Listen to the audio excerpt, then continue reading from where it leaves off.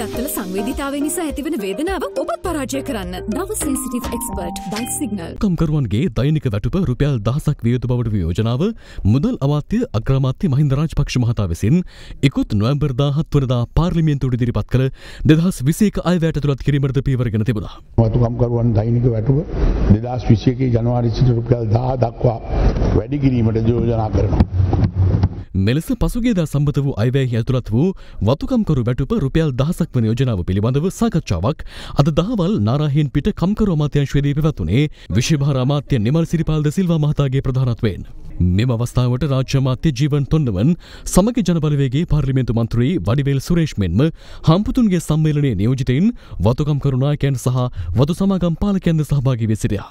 මෙහිදී හම්පුතුන්ගේ සම්මේලනයේ නියෝජිතයින් ප්‍රකාශ කළේ වතුකම්කරුවන් දෛනිකව අතිරේකව දළු කිලෝ දෙකක ප්‍රමාණයක් ලබා දිය යුතු බවයි. එමෙන්ම සෑම සේවකයෙක්ම වසරකට දින 180ක් අනිවාර්ය සේවයේ යෙදිය යුතු බවට වතු හම්පුතුන් විසින් මෙහිදී යෝජනාවක් ඉදිරිපත් කළා. ඊට අනෙක් පාර්ශවයේ විරුද්ධත්වය පළ කිරීම නිසා එහි මතභේදාත්මක තත්ත්වයක්ද හටගත්තා. No, no, no, no, no. Now, now that's already paying for that.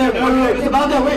I kept quiet and I spoke. You think we're not concerned about the youth workers? Yeah, but me, I can bring up. Please, please listen to me. No, no, Mr. Yeah, Bhatia, wait, one no, no, no, no. That's Wait, fine. wait, One minute, one minute. දෙපාර්ශවයම ඉදිරිපත් කළ කරුණු සලකා බැලූ අමාත්‍ය නිමල් සිරිපාල්ද සිල්වා මහතා ප්‍රකාශ කළේ කුමන තත්ත්වයක් යටතේ වෝද වතුකම්කරුවන්ගේ අවම වැටුප රුපියල් දහසක් වියුතු බවට වන රජයේ තීරණය මොනම ආකාරණයකින් හෝ වෙනස් විය නොහැකි බවයි. එසේ රුපියල් දහසේ අවම වැටුප ලබා දීමට නොහැකි යම්කිසි සමාගමක් වේ නම් එම වතු නැවත රජයට ලබා දෙන ලෙසද අමාත්‍යවරයා මෙහිදී දැනුම් දී තිබෙනවා.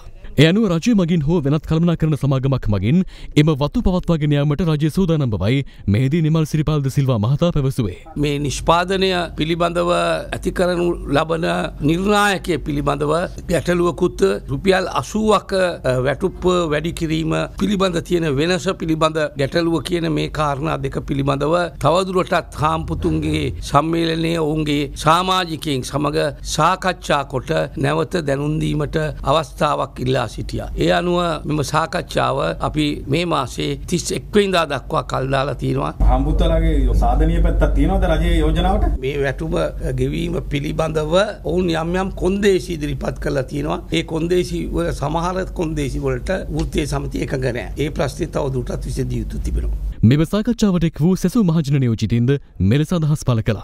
We feel that the wage discussion today was very productive and very positive. කතා දෙකක්ද මෝලික පඩි දාක්. මේ සිරෝන්ටිය එකත් ආරක්ෂා කරගන මේ ඉන්ඩස්ටේ එකත් ආරක්ෂා කරන ඉදිරියට කම්කරුත් එයාලගේ අයිතිවාසිකමත් දීලා තමයි බලාපොරොත්තු වෙන්නේ. හිරුගේ පළමු කිරණමෙන් රන්වන් බුද්ධි තිමත් සමකට. ලීව ආයිෂ් කහ ෆේස් ක්‍රීම්